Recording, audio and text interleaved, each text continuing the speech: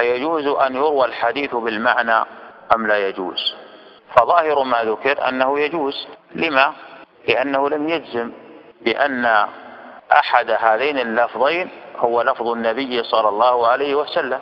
فلما قال الرجل الصالح أو العبد الصالح لا شك أن إحدى هاتين الكلمتين للنبي صلى الله عليه وسلم والأخرى ليست له من لفظه. ومن هذا الحديث وغيره مما شك فيه الرواة أجاز بعض العلماء رواية الحديث بالمعنى مع الاتفاق على أن الراوي إذا كان غير عالم بالألفاظ ومرادفاتها ومحلها من حيث اللغة فلا يجوز له أن يروي الحديث بالمعنى لأنه ربما يضع كلمة مكان أخرى ويكون لهذه الكلمة تأثير في المعنى. ومع الاتفاق والعهدة على ابن الصلاح فيما قال لا نعلم أن الخلاف واقع في رواية الحديث بالمعنى في الكتب المصنفة.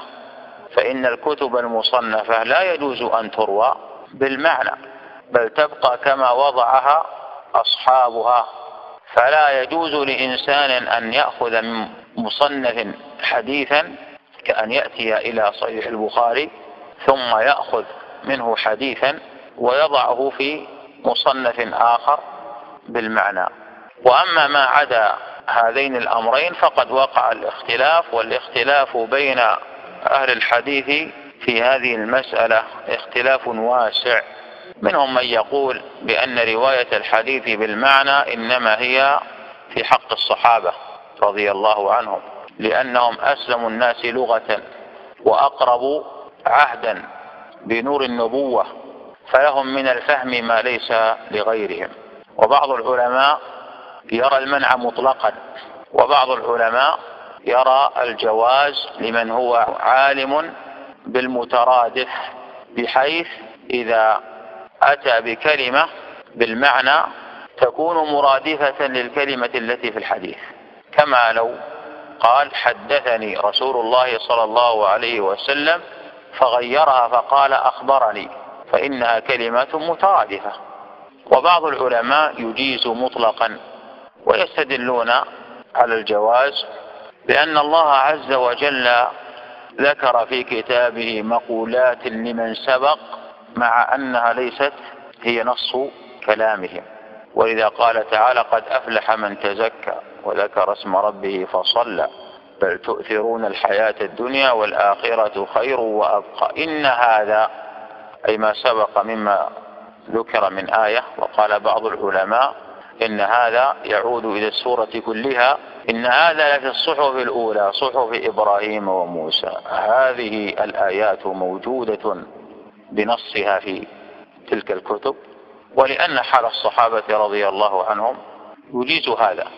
ولأن هناك مشقة لو ألزم الإنسان بأن يأتي بالحديث بنصه ولفظه واستدل المانعون بأدلة لكن من بينها من باب الاختصار لأن هذه المسألة مسألة حديث.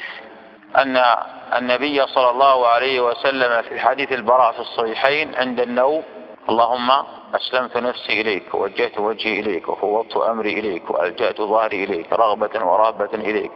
لا ملجأ ولا منجى منك إلا إليك. آمنت بكتابك الذي أنزلت بنبيك الذي أرسلت. أعادها البراء فقال وبرسولك الذي أرسلت.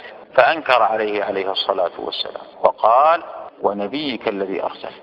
فقالوا إن النبي صلى الله عليه وسلم رده إلى أن يأتي باللفظ. وأجاب المجيزون بأن كلمة الرسول لو جيء بها هنا لما أفادت معنى.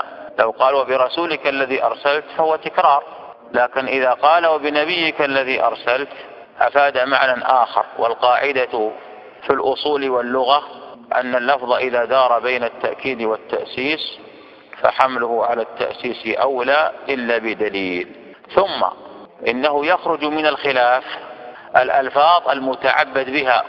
فلا يجوز روايتها بالمعنى مثل ألفاظ الأذان مثل ألفاظ الذكر ومن بينه ما جاء في حديث البراء.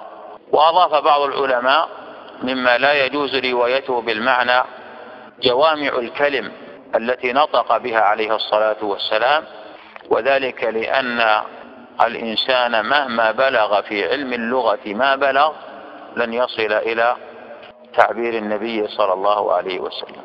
على كل حال نخلص من هذا إلى جواز رواية الحديث بالمعنى بالشروط المذكورة.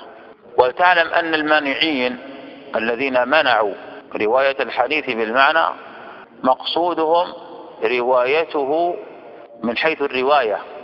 أما من حيث الحديث في المجالس كأن يحدث بحديث عن النبي صلى الله عليه وسلم فيأتي به من حيث المعنى فلا بأس به. ومما يدل على أن الأحاديث تروى بالمعنى أن الحديث يروى وهو قصة واحدة يروى بروايات متعددة مع أن القصة واحدة مما يدل على التسامح في مثل هذا عند الصحابة رضي الله عنهم. لكن إذا أردت أن تستنبط أحكاما يجب عليك أن تنظر إلى اللفظ بعينه حتى تتعبد الله على بصيرة.